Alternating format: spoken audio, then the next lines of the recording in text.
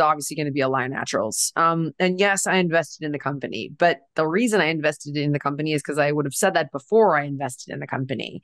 So why do I like it better? All right, I'm not going to name any other brands, but you guys are going to know pretty obviously what I'm talking about. Um, a lot of them, in particular, one is very, very, very expensive, and it's just not as good. So look for organic first of all. Alaya Naturals green superfood is is organic. Okay, that's that's number one. Number two, it has the antioxidants. It has the adaptogens. It has the pre and probiotics. It has the vitamin mineral blend. It has all the things that those really expensive ones that have a ton of marketing behind them have.